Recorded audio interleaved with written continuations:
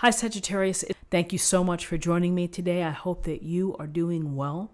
And here this week in the US, we celebrate Thanksgiving. So I want to wish you a very happy and joyous holiday uh, with um, people that you care about. So for this weekly reading, I'm going to choose a couple of cards for awareness, for guidance, and possible outcomes. We will get a sense of. Um, you know, what's going on for the week, and then I will also choose a couple of oracle cards for additional information. So let's just see what we have. Okay, so we have the Ace of Swords, we have the Knave of Swords or the Page of Swords, and we have the Seven of Cups. So the Ace of Swords is a you know, a message from the universe right to you. Here's the very powerful and sharp sword.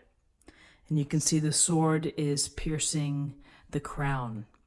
And this is about uh, using your smarts, using your intelligence to make decisions, your reason, your logic, your ability to cut through all the extra uh, information that is bombarding us all day long.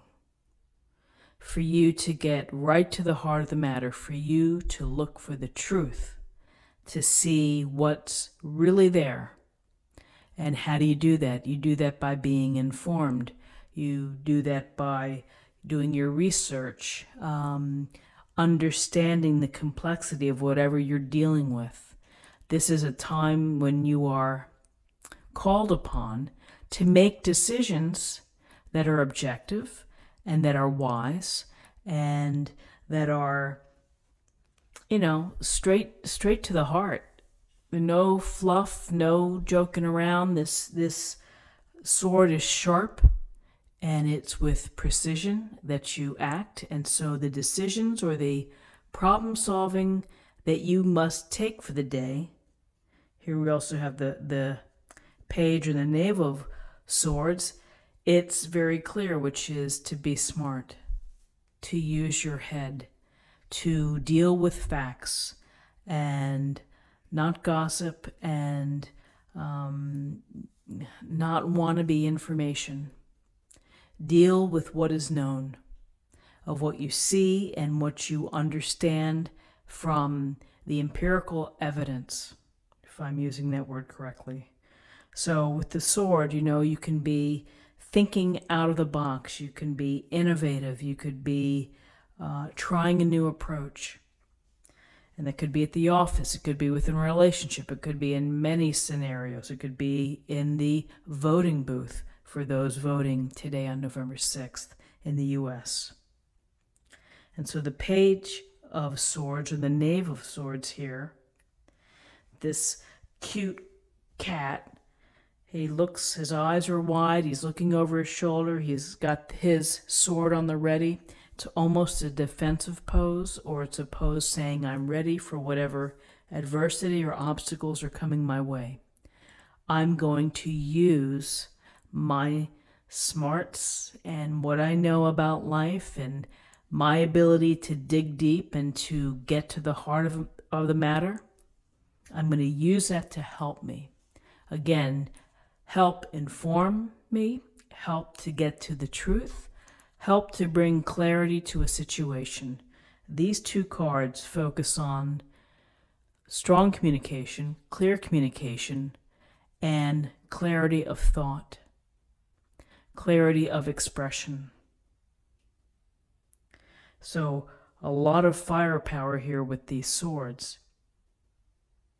And then we have the Seven of Cups. And the bunny is looking up at the sky at all the cups and all the options. And sometimes these options can be overwhelming.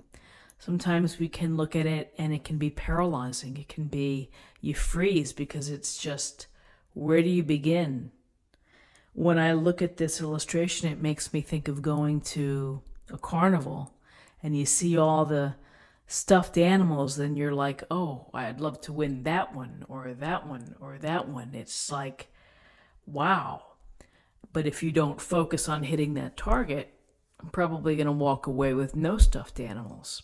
So, this Seven of Cups is the fantasy and the uh, perhaps the imagination of possibilities, of things maybe that you want to happen. So there's nothing wrong with visualizing, there's nothing wrong with having a great imagination. So many wonderful innovations have been born from having the wild thinking or the, the thoughts, you know, space travel, you know, the, the train, the locomotive being invented, all of these things come from a vision or, you know, this imagination and the daydreaming aspect. But the balance is, is not to live in a daydream world, not to be carried away by illusion. It's to deal with the reality and to appreciate options and choices and then make one.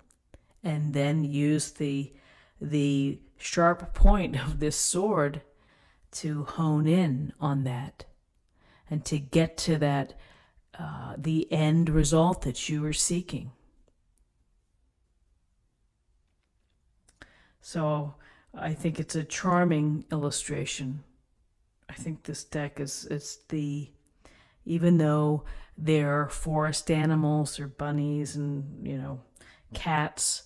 I think there's such expression within these illustrations that you really get a sense of it just conveys so well.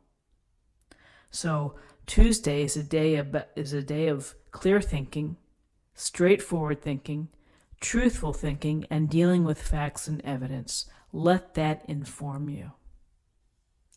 So let's look at the numbers we have. 1, 2, and 7. It's 9, and 9 is about nearing completion. It's about spirituality. It's about idealism in, in many ways and wisdom. And to close the reading, I'm going to choose an oracle card and we will see what the affirmation is for the day.